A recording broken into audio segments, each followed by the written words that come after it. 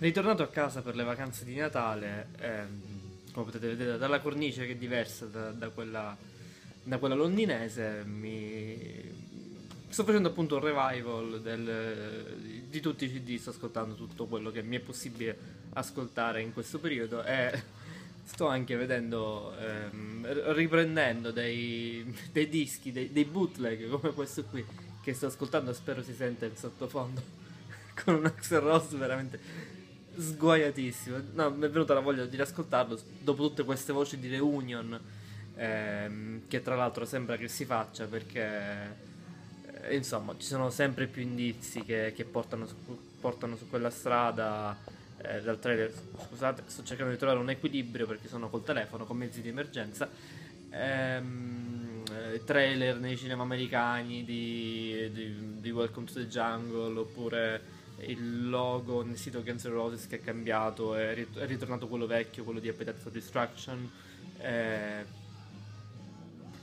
i, i diretti interessati che non hanno mai smentito queste voci, chi conosce la band dice sì, questa cosa si farà, quindi si farà. Vabbè, sto tergiversando. Non so in realtà cosa voglio fare, volevo parlare a me- a metà fra queste reunion e vedere questo bootleg unplugged, tra l'altro che... eh, edizione tremenda perché cioè mm, c'è questa copertina che è il logo quindi ok c'è il super value che era mm, eh, super value qui purtroppo ho una mano occupata quindi ho difficoltà. Il super value che era eh, marchio di fabbrica della Onstage Records. Eh, comunque boot- bootleg che non si sentivano affatto male hanno una resa sonora discreta mentre a volte quando, quando li accom- sapete cosa sono i bootleg vero? sì penso di sì vabbè lo dico giusto per tutti coloro che non, non lo sapessero. Sono quelle registrazioni non ufficiali che si usavano, credo, fino a metà anni 90, 95, 96.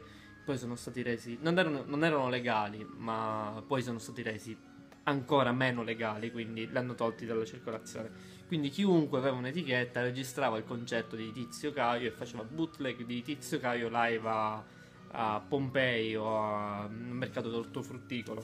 Eh, questo è un live dei Guns N' Roses, eh, live unplugged, recorded live in USA, quindi molto, eh, molto dettagliato. Quindi recorded live in USA, non si sa quando, dove, no, dove si sa, negli Stati Uniti, ma non, non- non è molto dettagliato.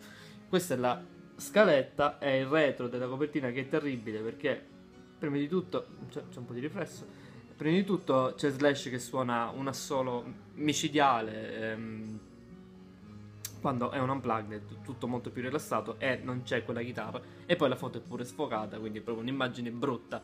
Ehm, le scritte gialle sono brutte tutto è brutto. Il libretto è inesistente perché c'è, c'è questa grafica dietro e poi dentro si apre una pagina ma è bianca non c'è nulla.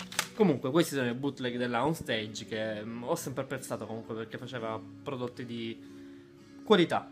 Non rimanevi mai deluso mentre a volte mh, compravi dei bootleg e veramente li prendevi, li dovevi buttare o li tenevi giusto per collezione.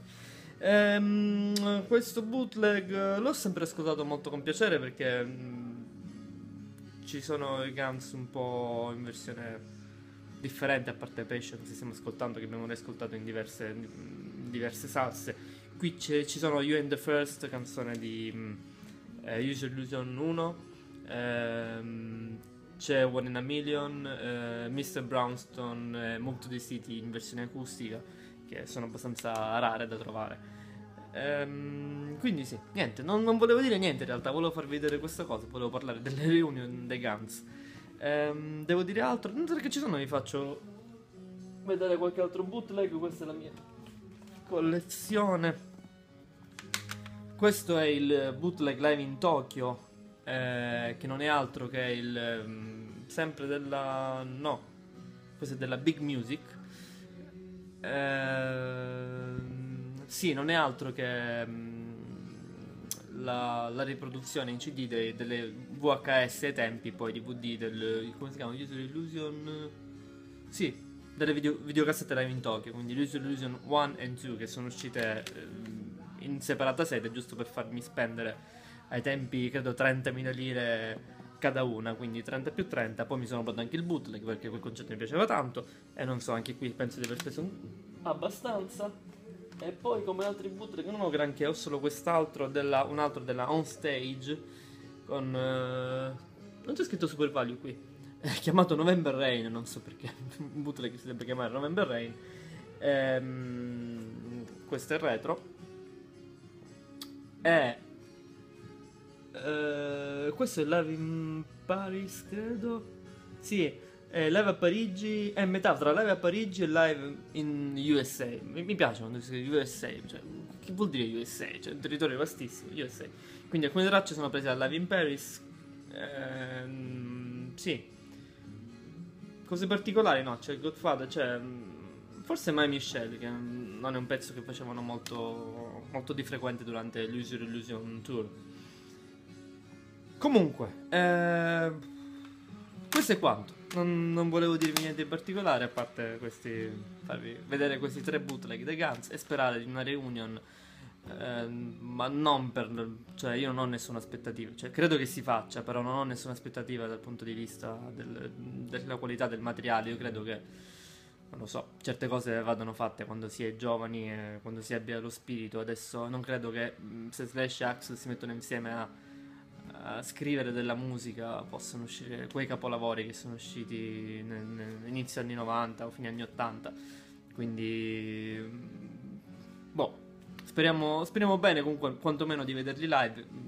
Giusto per i vecchi tempi, anche, anche se Axel si è fatto vedere, cioè non si è fatto vedere, ma tramite Twitter una, non so chi, una fan credo abbia postato una foto con lui che è praticamente un baule. Sapevo che si era messo a dieta, ma evidentemente eh, o non l'ha fatto o non sta riuscendo male, oppure era ancora più grosso di quello che si vede adesso. Quindi, comunque, io li andrei a vedere giusto per, per amore dei vecchi tempi, per, per rivederli insieme, dato che li ho visti separati. Ho visto sia Guns N' Roses, mm, Guns N' Roses nuova edizione che, che Slash mm, due o tre volte, no, due volte con Miles Kennedy.